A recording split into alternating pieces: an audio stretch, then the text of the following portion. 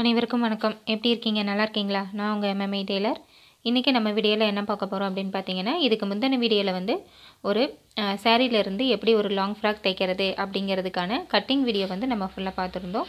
இந்த வீடியோவில் வந்து அதை எப்படி ஸ்டிச் பண்ணுறது அப்படிங்கிறத நம்ம பார்க்கலாம்.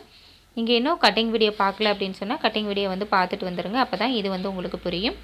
அந்த வீடியோவோட லிங்க் வந்து நான் டிஸ்கிரிப்ஷன் பாக்ஸில் கொடுக்குறேன். பார்க்காதவங்க பார்த்துக்கோங்க. வாங்க வீடியோக்குள்ளே போகலாம்.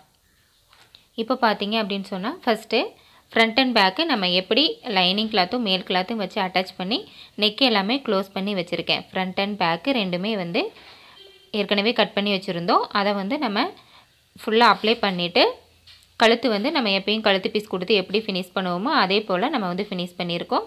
அதே மாதிரி கை வந்து பார்த்திங்க அப்படின்னு சொன்னாலும் அதே மாதிரி நம்ம ப்ளவுஸுக்கு சுடிதார்களை எப்படி நார்மலாக கை வந்து அட்டாச் பண்ணுவோமோ அதே மாதிரி லைனிங் கிளாத்தையும் மேல் கிளாத்தையும் வச்சு அட்டாச் பண்ணி உள்கை வந்து கட் பண்ணி நாச் போட்டு வச்சுருக்கோம். இப்போது இதில் வந்து நம்ம என்ன பண்ணணும்னா ஃப்ரண்ட் அண்ட் பேக்கில் கீழே வந்து நம்ம டாட் வந்து பிடிக்கணும். இந்த டாட் பிடிக்கிறதுக்காக வந்து பார்த்திங்கன்னா இந்த மாதிரி ரெண்டாக வந்து மடித்து போட்டுடுங்க.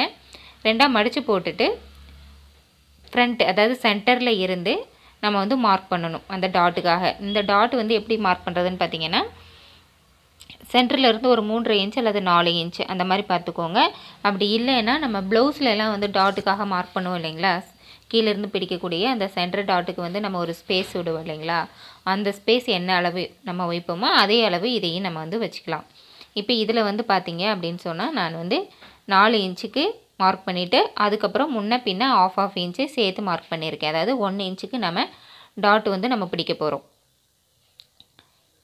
இப்போது அந்த நாச் வந்து நம்ம போட்டிருக்கோம் இல்லையா? அதிலிருந்து ஒரு நாலு இன்ச்சுக்கு உயரத்துக்கு அப்படியே ஸ்ட்ரைட்டாக வந்து தைச்சி விடுங்க இந்த மாதிரி தைச்சிட்டு திரும்பி ரிட்டன் அதே ஸ்டிச்சஸில் வெளியில் வந்துடுங்க. இந்த மாதிரி தைச்சி விடும்போது நமக்கு டாட் பிடிக்கும்போது நமக்கு லைனிங் கிளாத்தும் மேல் கிளாத்தும் அட்டாச் ஆகியே இருக்கும். சில நேரம் நம்ம டாட் பிடிக்கும்போது பார்த்திங்கன்னா நமக்கு லைனிங்கில் வந்து அந்த தையல் இருக்கும். மெயின் கிளாத்தில் வந்து தையல் இருக்காது. அந்த மாதிரி இல்லாமல் ரெண்டு கிளாத்துலேயுமே அதாவது லைனிங் ப்ளஸ் மெயின் கிளாத் ரெண்டுலேயுமே நமக்கு அப்படியே அட்டாச் ஆகி வரணுங்கிறதுக்காக தான் இந்த தையல் வந்து போட்டிருக்கு. இப்போ அந்த ஒன் இன்ச்சு மார்க் பண்ணதுலேருந்து அந்த நாலு இன்ச்சு உயரத்துக்கு நம்ம வந்து டாட் வந்து பிடிச்சு விட்டுடலாம் இது அவங்கவுங்க ஹைட்டுக்கு தகுந்த மாதிரி நாலு இன்ச்சு நாலரை இன்ச்சு அஞ்சு இன்ச்சு வரைக்கும் நம்ம வந்து பிடிக்கலாம் இப்போ நம்ம ஏற்கனவே அந்த தையல் போட தெரியுது பார்த்திங்களா? அது வந்து சென்டரில் வரும். நம்ம இந்த மாதிரி டாட் பிடிக்கும்போது அந்த தையல் வந்து நமக்கு வெளியில் தெரியாது. லைனிங் கிளாத்தும் மேல் கிளாத்தும் நீட்டாக வந்து நமக்கு இருக்கும். இப்போ இதே மாதிரியே நம்ம ஃப்ரண்ட்லேயும் வந்து டாட் வந்து பிடிச்சு விட்டுடலாம் ஃப்ரண்ட் அண்ட் பேக்கு ரெண்டுலேயுமே இதே அளவில் வச்சு டாட் வந்து பிடிச்சு விட்டுருங்க. இப்போ இதே மாதிரியே ஃப்ரண்ட்லேயும் வந்து நம்ம தைச்சிக்கலாம். சேம் அதே மெத்தேடு தான். நீங்கள் ரெண்டாக மடித்து போட்டுட்டு அந்த ஸ்பேஸ் வந்து மார்க் பண்ணிக்கோங்க.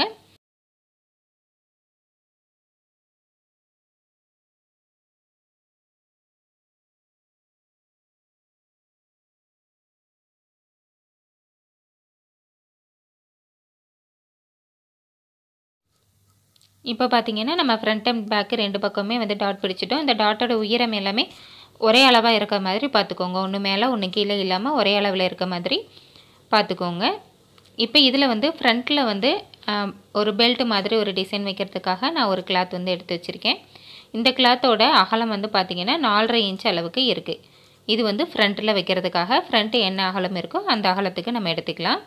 இதை வந்து அப்படியே ரெண்டாக வந்து நான் மடிச்சுக்கிறேன். நாலரை இன்ச்சு உள்ளதை ரெண்டாக வந்து மடிச்சுட்டு இதில் அப்படியே அந்த ஆஃப் இன்ச்சு கேப் விட்டு நம்ம அப்படியே ஜாயின் பண்ணி ஸ்டிச்சஸ் வந்து போட்டுக்கலாம்.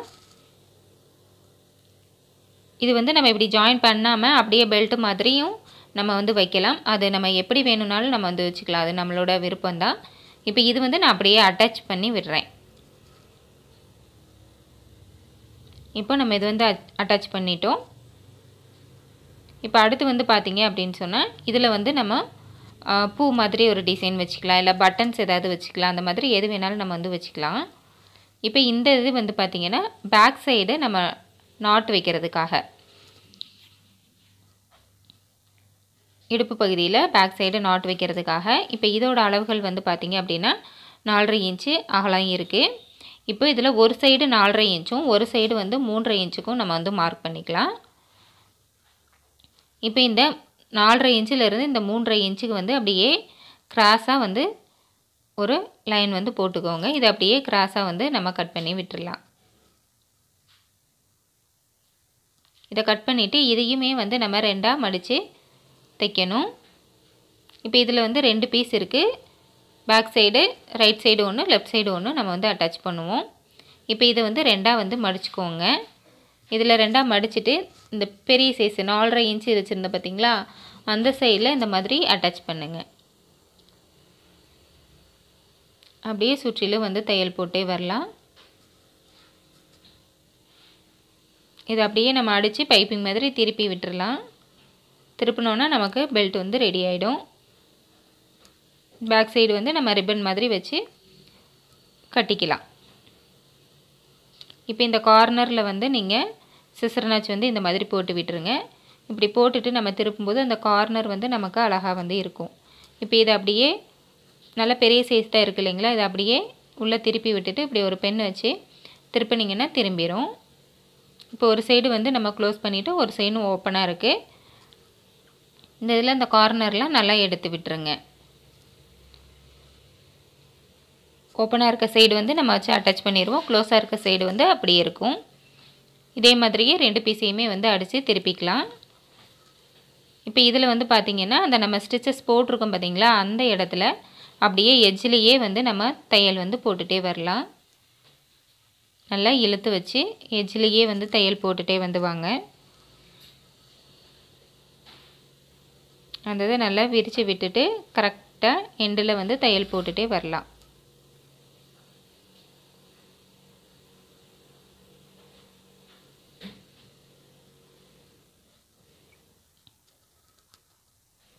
இந்த தையல் வந்து பார்த்திங்க அப்படின்னா நமக்கு நல்ல ரிப்பன் மாதிரி நல்லா படிஞ்சு இருக்கணும்னா சுற்றிலும் முன்னொரு சைடு நம்ம வந்து தையல் போடலாம். இல்லை அந்த மாதிரி படிஞ்சு இல்லாமல் கொஞ்சம் அப்படியே பஃப்னி இருக்கணும் அப்படின்னா நம்ம இந்த மாதிரி அப்படியே வந்து விட்டுடலாம் இப்போ நான் வந்து ஆப்போசிட் சைட்லேயும் வந்து தையல் வந்து நான் போட்டுக்கிறேன்.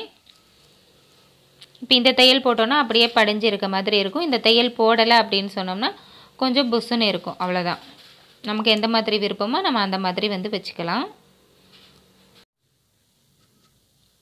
இப்போ நம்ம ஒரு சைடு வந்து தைச்சிட்டோம். இதே மாதிரி இன்னொரு இதுலேயும் தைச்சிக்கலாம்.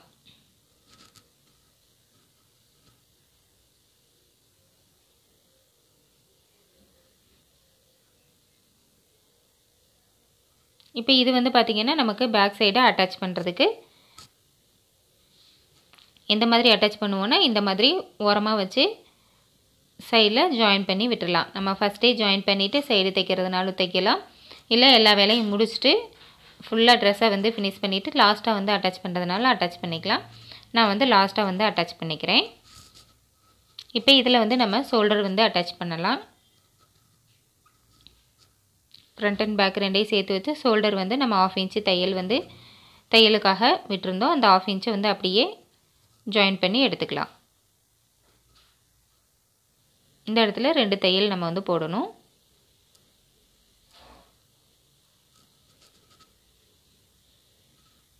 இப்போ அதில் எப்பயும் போல் நம்ம கை எப்படி ஜாயின் பண்ணுவோமோ அதே மாதிரி கை ஜாயின் பண்ணிக்கலாம். நமக்கு சுடிதார் ப்ளவுஸ்க்கெல்லாம் எப்படி நம்ம கை வந்து அட்டாச் பண்ணுவோமோ அதே போல் இதுக்கும் வந்து நம்ம ஸ்லீவ் வந்து அட்டாச் பண்ணி எடுத்துக்கலாம்.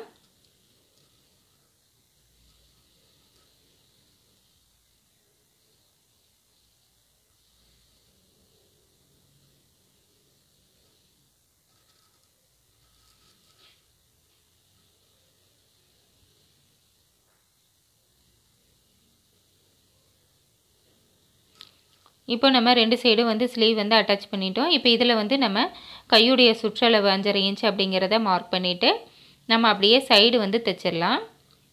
கை வந்து அஞ்சரை இன்ச்சு மார்பு சுற்றளவு நம்ம வந்து ஒன்றரை இன்ச் வந்து தையலுக்காக விட்டுருந்தோம்.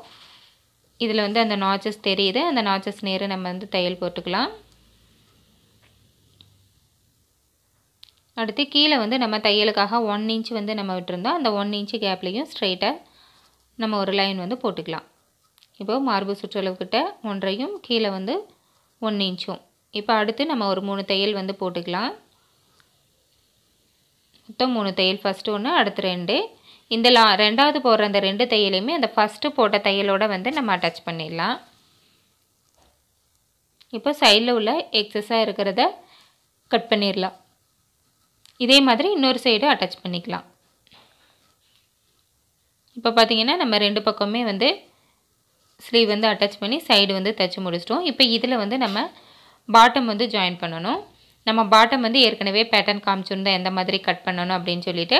அதே பேட்டர்னில் நம்ம வந்து பாட்டம் வந்து நான் கட் பண்ணியிருக்கேன். கட் பண்ணிவிட்டு இதில் கீழே வந்து அப்படியே டபுளாக வந்து ஃபோல்டு பண்ணி ஸ்டிச்சஸ் வந்து போட்டிருக்கேன். சைடு வந்து ரெண்டு பீஸாக இருக்கும் இல்லைங்களா? ஃப்ரண்ட் ஒன்று பேக் ஒன்று அது ரெண்டையுமே சைடு ஜாயின் பண்ணிவிட்டு கீழே வந்து ஃபோல்டு பண்ணி நம்ம ஸ்டிச் பண்ணிட்டோம். இப்போ இதை வந்து நம்ம மேல் டாப்பு கூட அட்டாச் பண்ணணும்.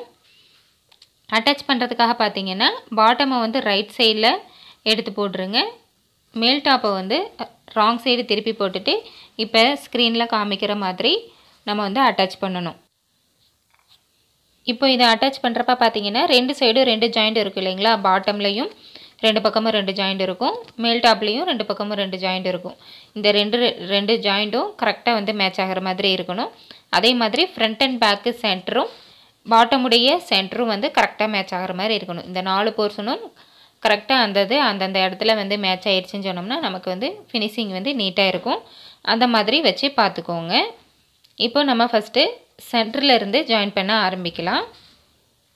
சென்டர்லேருந்து ஒரு பக்கம் ஜாயிண்ட் வரைக்கும் அடுத்து ஒரு பக்கம் ஜாயிண்ட்லேருந்து அடுத்த சென்டர் வரைக்கும் அடுத்த சென்டர்லேருந்து அடுத்த சைடு அடுத்த சைட்லேருந்து சென்டர் வரைக்கும். இந்த மாதிரி அந்தந்த போர்ஷன் அந்தந்த போர்ஷனுக்குள்ளே வர மாதிரி நம்ம வந்து அட்டாச் பண்ணிக்கலாம்.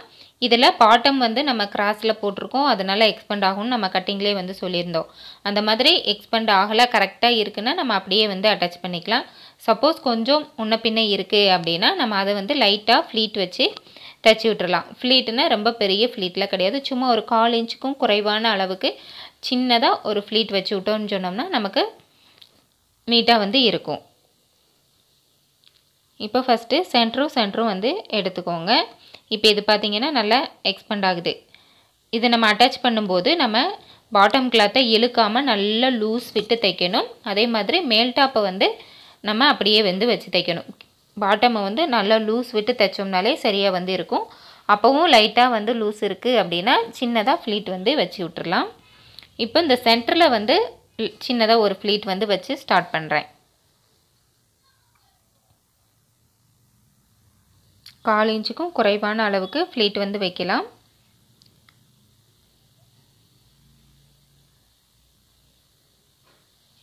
அப்படியே வந்து ஃபஸ்ட்டு தைச்சிட்டே வரலாம். அப்படியே சுற்றிலும் வந்து நம்ம தைச்சி முடிச்சிடலாம்.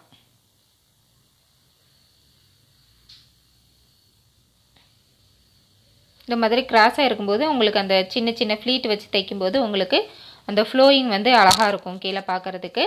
நம்ம வச்ச ஃப்ளீட்டும் வந்து நமக்கு வெளியில் தெரியாது. அந்த அளவுக்கு தான் அதோட ஃபினிஷிங் வந்து இருக்கும். இப்போ இதே போலவே நம்ம சுற்றிலும் வந்து ஜாயின் பண்ணி எடுத்துடலாம்.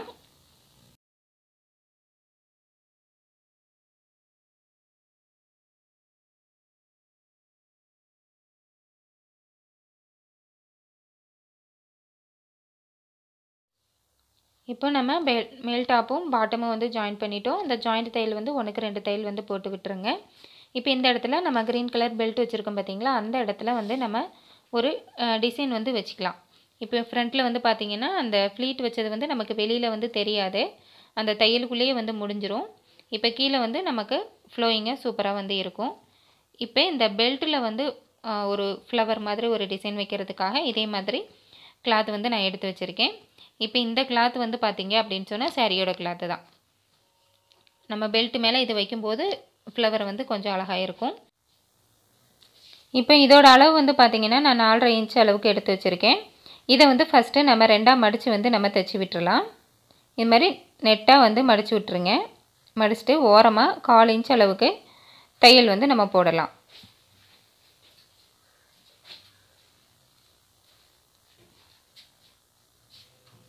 இப்போ இதில் ரெண்டு சைடுமே வந்து ஓப்பனாக வந்து இருக்கும். இதை வந்து நம்ம ஃபஸ்ட்டு என்ன பண்ணலான்னா நல்லா திருப்பி விட்டுறலாம். அப்படியே இந்த மாதிரி உள்புறம் நம்ம விரல் வச்சே கூட நம்மளால் திருப்ப முடியும். பெரிய சைஸாக இருக்கிறதுனால நல்லா வந்து திருப்பி விட்டுடுங்க.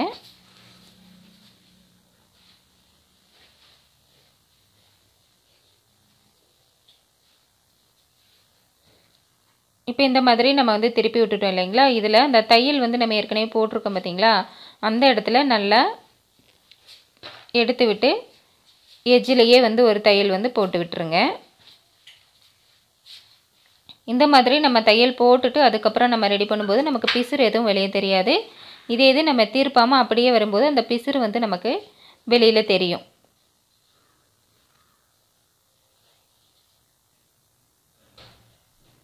அப்படியே எஜ்ஜிலேயே வந்து கரெக்டாக நீட்டாக எடுத்து விட்டு ஸ்டிச்சஸ் வந்து போட்டு எடுத்துக்கோங்க. இப்போ இதில் வந்து நம்ம நீடில் வந்து எடுத்துக்கோங்க. நம்ம நார்மலாக ஹெம் பண்ணுற நீடிலே போதும். இல்லை பெரிய சைஸ் நீடில் இருந்தாலும் எடுத்துக்கோங்க.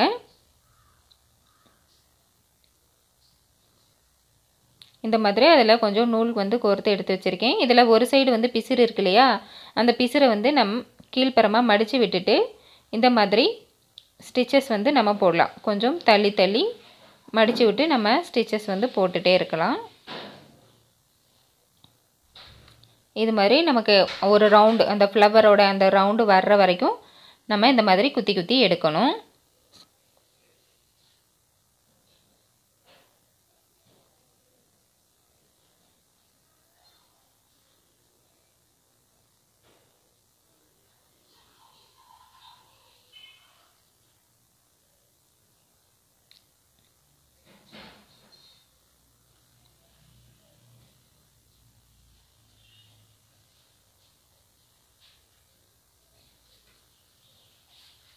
இப்போ இந்த மாதிரி ஒரு ரவுண்டு வர வர அளவுக்கு வந்து வச்சுக்கோங்க. அப்படி பத்தலைன்னா இன்னும் கொஞ்சம் நம்ம வந்து எடுத்துக்கலாம்.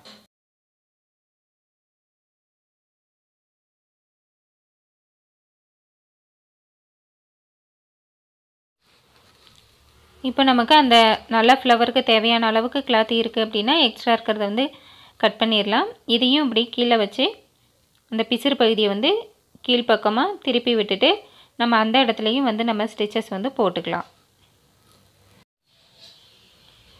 இப்போ பார்த்திங்கன்னா கீழே மடித்து தையல் போட்டதுக்கப்புறம் கரெக்டாக எடுத்து விட்டுட்டு நம்ம இந்த மாதிரி ரவுண்டாக வச்சோன்னா நமக்கு இது மாதிரி வந்து இருக்கும்.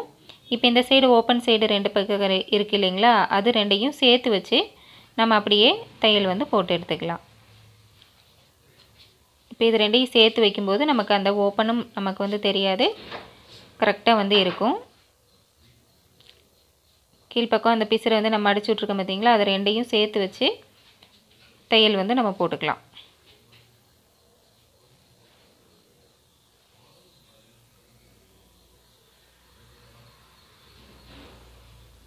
இப்போ நமக்கு ஃப்ளவர் வந்து ரெடி ஆகிடுச்சு இப்போ இதுக்கு நடுவில் வந்து நம்ம ஒரு பட்டனோ இல்லைன்னா ஒரு டிசைன் பட்டன் இல்லைன்னா நார்மலாக ஏதாவது பீட்ஸ் இருந்தால் நம்ம வந்து வைக்கலாம். இல்லை பேச்சஸ் கிடச்சதுன்னா நம்ம பேச்சஸும் வந்து சென்டரில் வந்து வச்சு ஸ்டிச் பண்ணிக்கலாம்.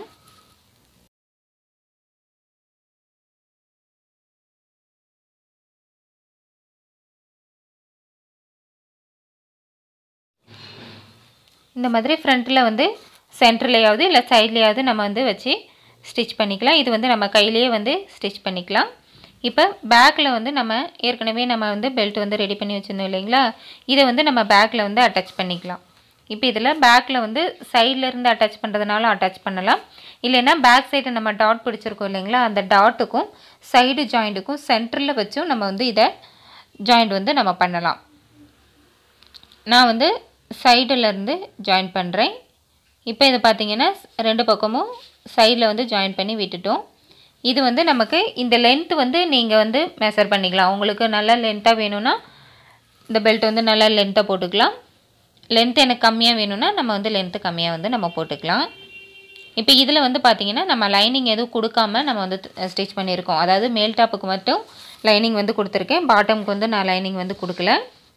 இப்போ ஃப்ரண்ட் சைடு வந்து அந்த பெல்ட்டுக்கு மேலே இந்த ஃப்ளவர் வச்சு அதுக்கு சென்டரில் வந்து நமக்கு இந்த மாதிரி பட்டன் வந்து நான் வச்சு ஸ்டிச் பண்ணி விட்டுருக்கேன்.